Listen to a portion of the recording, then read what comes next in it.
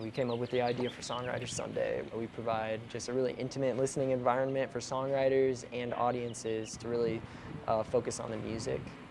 Basically, it's the only venue in Nebraska that doesn't have alcohol. It's the only venue that's like quiet when you're there. And when most of the time we don't have this open as a venue, but like when it is open as a venue, that is all that it is. That's pretty cool. It's much more like a listening environment than anything. It just seems so much more intimate than any other venue in town, even smaller ones. So these are all of our very organized cords that we uh, set up every for every show.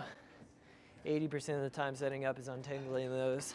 Next up we have the Acme dumb dumbbells. I feel like I'm doing like my annual like Christmas light setup every week, Sunday when I'm here. I'll make an announcement, normally like 25 minutes tell, and just let them know that you're gonna be coming around so they won't be surprised. Jim is gonna be coming around in about 10 minutes um, to collect admission. At nine o'clock, if you're not gonna stick around, we'll just ask that you head out. Thanks. Beat it. Beat it. All right.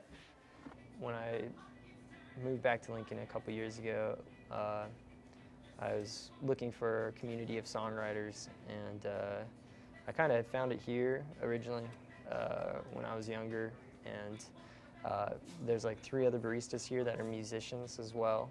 Um, so we all, um, once we were in the same working environment, we uh, all wanted to make music, kind of bring it to the next level here. So uh, we put together a Songwriter Sunday last November.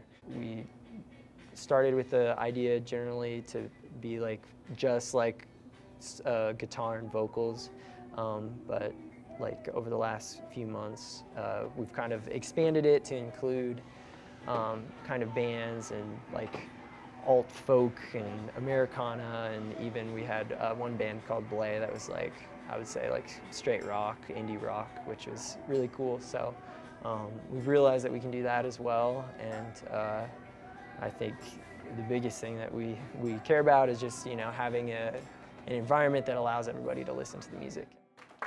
Thank you guys so much.